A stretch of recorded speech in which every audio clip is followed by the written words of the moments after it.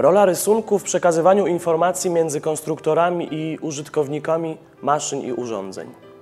Rysunek w technice jest jedną z podstawowych form przekazywania informacji. Przekaz ustny czy opis jest w wielu sytuacjach niewystarczający i może prowadzić do nieporozumień.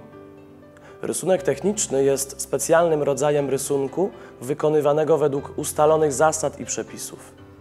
Dzięki zwięzłemu i przejrzystemu wyrażaniu kształtów i wymiarów odwzorowywanego przedmiotu dokładnie wskazuje, jak ma wyglądać ten przedmiot po wykonaniu. Określa on również budowę i zasadę działania różnych maszyn i urządzeń, czego nie jest w stanie spełnić nawet najdoskonalszy opis słowny. Techniczny rysunek stał się właśnie dlatego powszechnym i niezbędnym środkiem porozumiewania wszystkich pracowników zatrudnionych w procesie produkcyjnym.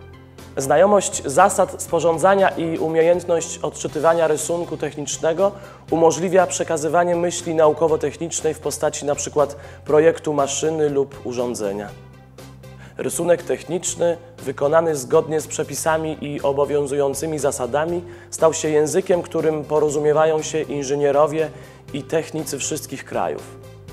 Powszechne i międzynarodowe znaczenie rysunku technicznego umożliwia korzystanie z wynalazków i ulepszeń z całego świata.